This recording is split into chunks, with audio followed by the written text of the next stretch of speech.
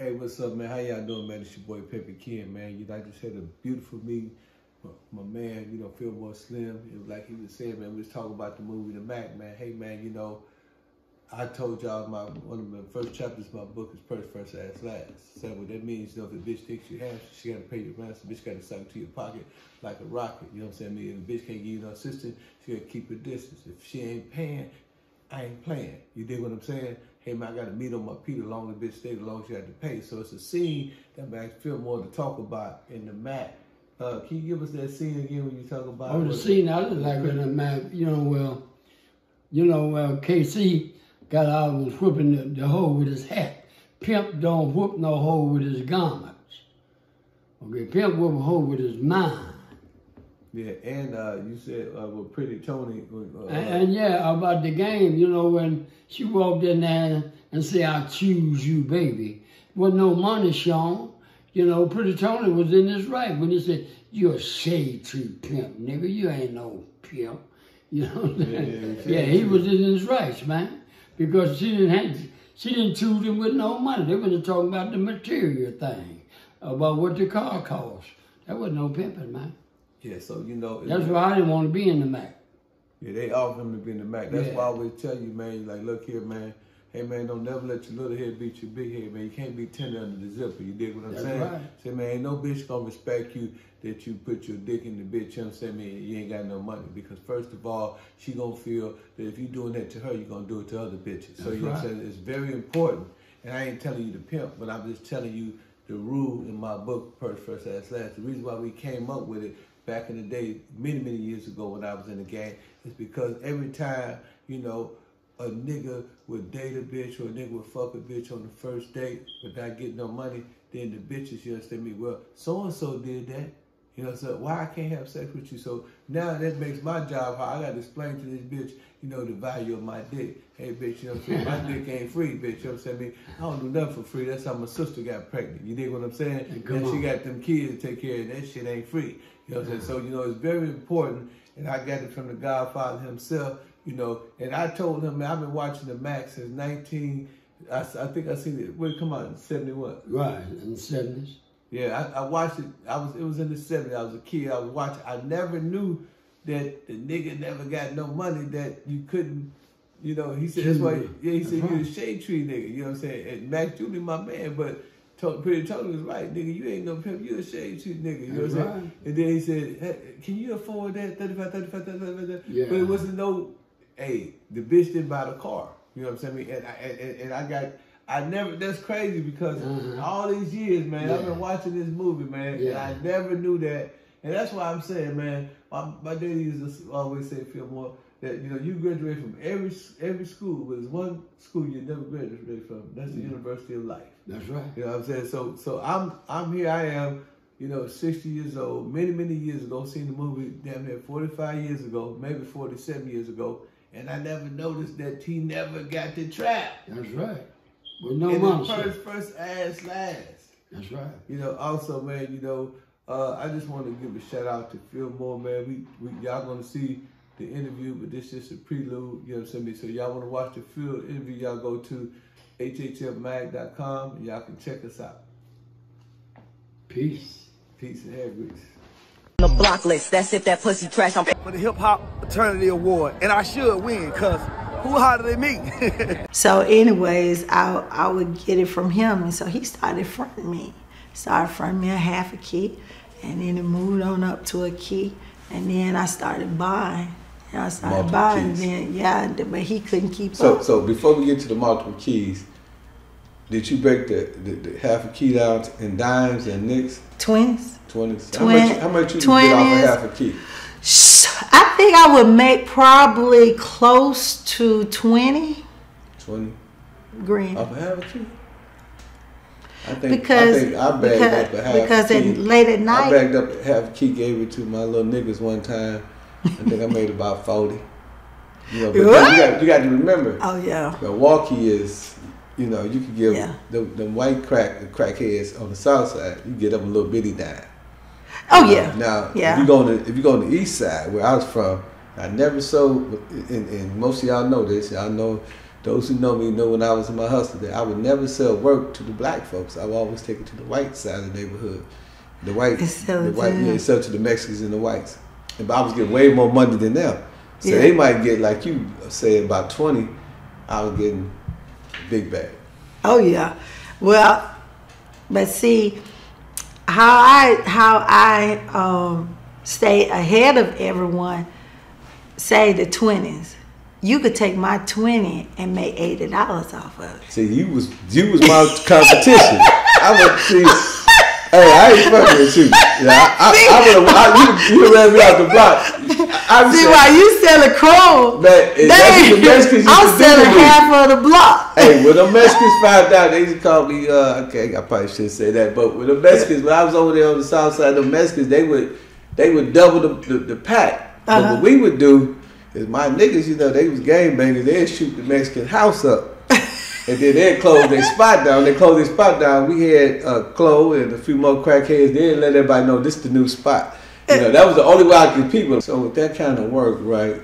I mean, did you have stash spots and shit? You know, cause Yeah. yeah. Yeah, I had my- the I call I call them my uh, baby houses, but it'd be apartments. But that's where my dope lived. I didn't live there. Yeah. You know, I just Yeah. go and you know bag. So you had more than one spot with that Yeah. kind of work. You had to you I had, had the, you had the certain side of town. So that so that. I had on the south side with the white people. So yeah, I'm telling you, man, you sounding word me. You got you got an abusive father. I got an abusive father. Hey, we got too much shit in common. But uh, I'm so, your sister. Yeah, you my sister for real, for real. So so so you you got all these spots on the south side. You busting down a brick at a time, right? Mm-hmm. You know that's got to be a lot of work. That's a, I mean that razor blade had to be busy. Huh? Yeah, and then I went got me a gold razor blade. I bought a gold? 14 karat gold Oh, razor you was blade. just feeling yourself, huh? Okay. Like, you Yeah. Playing pen around this motherfucker, huh? You can sell all the dope. so yeah, so they um yeah that it, it became a lot, and I learned that from from one of my um one of my cousins. He was old, older man, and uh, he had took me in and one of my other cousins under his wing to teach us, you know, because he was already in the street. So we would sit and break down a key and then take plastic. He wanted us to take plastic, roll it up in the plastic, and then burn it so that, you know, the crackheads can't taste it, they can't do nothing. Right. We did that all night long. And uh, then he would pay us like three hundred dollars. I quit. You know, I quit. And so, but I learned. I, I I learned how to do stuff like that. But uh, I didn't always break it down. Um, when I when I had multiple keys, I would sell ounces. You know, zones. Okay, But so like, I didn't sell. so what do a Perion trap look like? Cause like when I was trapping, right, I would have my guys. You know, we would uh, take one of the doors and we would have these like steel cages and shit, and we had people at the door. So I would have all the fiends in the house because because it was too much traffic. There's a lot of people selling dope on the side. you We had- trap them in the house. Now, now we have them all in the house, but we had the, the, the dude, my man Teddy, that was hustling. He'd be behind the gate. He have a bunch of acid right there. You know what I'm saying? I mean, so that's how we ran our spots, and we had you know crackheads outside. How, how did you run? I had do a I, I had a like? I had a cutlass. I had a uh, '77 cutlass, and I had the floor uh, cut, Mm-hmm. and it had a canister, so it had acid in it. Oh, okay. And so, like, if the police got behind us, we just dropped it Drop in it there. in there, And at first, it was just a hole. We just drop it, but then that'll blow back their own ass. so we had to come up with something different. But I, I didn't never really have to use it like that. Uh, but no, um, we wouldn't elaborate like you. But we would have like the iron doors.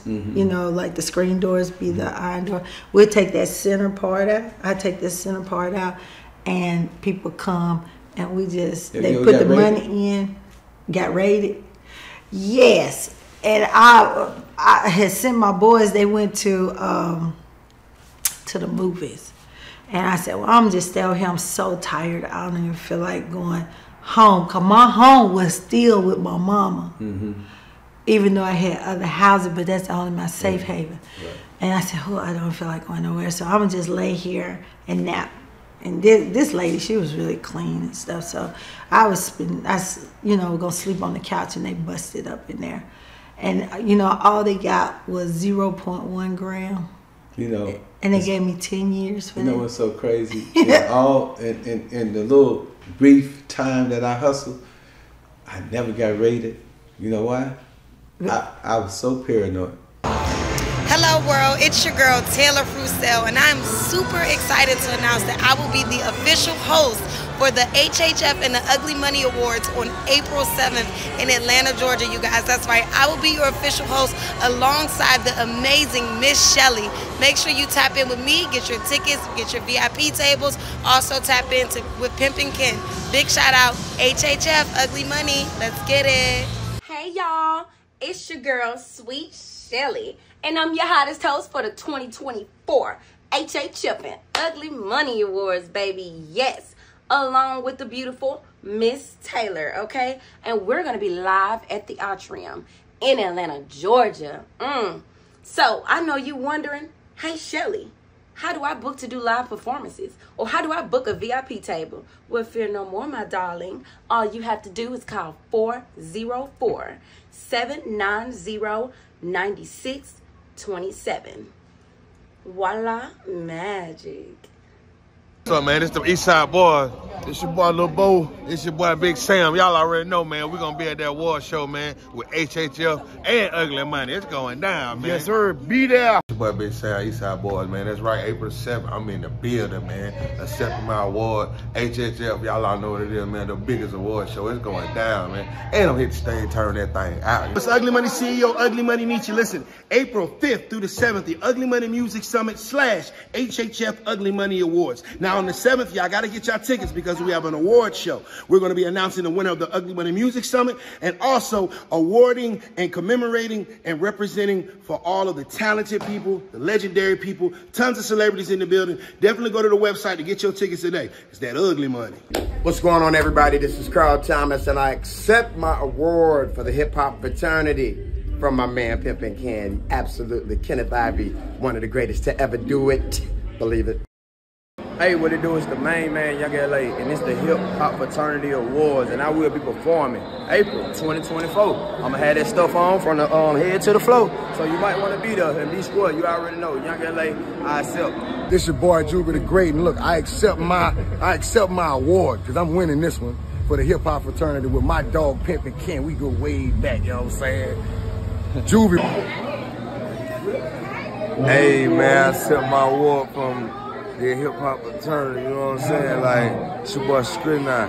Shout out to Pimpin' Ken, you know what I'm talking about? All the way up, no stops, Jack. You feel me? 400.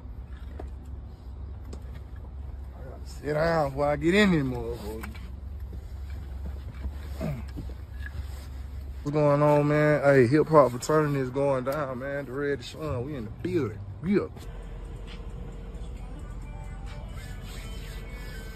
Hey, hey, hey, what's happening? It's your boy, the Red Deshaun, and I formally accept my nomination for the Hip Hop Fraternity Award. Get! Yeah, this your boy Breadwinner Kane. I will be performing at the Hip Hop Fraternity Awards 2024. Salute to my bro, Pimpin' King. Yeah. See, Pimpin' Ken was in here earlier, and he put the pimp spirit in the air. Give me, give me some gangster shit. Just go get the book when it come out. I'm out of best book in the country, best selling book in the country. uh, period. This book right here, Pimpin' Ken laid it on me. My God. Cross the tracks, man. Now, now let's talk about this book. And Ken is the homie. He a legend. y'all He a legend. Boosie new book? I fuck with Ken Stevo. Uh-huh. They came to me with, you know, Simon Schuster. Ladies and gentlemen, this is your boy Pimpin' Ken, man. I want y'all to go get my new book, The 48 Laws of the Game, Pimpology, man. This is the book that everybody is reading. They love it in the prisons. It's selling all over the world. Everything that your father, your uncle didn't teach you, this book will. This will give you a whole lot of game. And it's for men and women. And if you want to be a winner, go get my other book, The Art of Human Chess. It's a bestseller. Both of my books are bestsellers. If you want to get the book, just go to thehiphopfraternity.com. Go to the link books and hit the word hit book. If that don't work for you, go to Amazon.com. If that don't work, go to audible.com. Type in my name, Pimpin' Ken. I guarantee you that the book will pop up. And just order the book. We got the audio book, we got the hardcover, we got the paperback. Anything you need, just go to any one of those platforms, Barnes and Nobles, Books a Million, and get the book.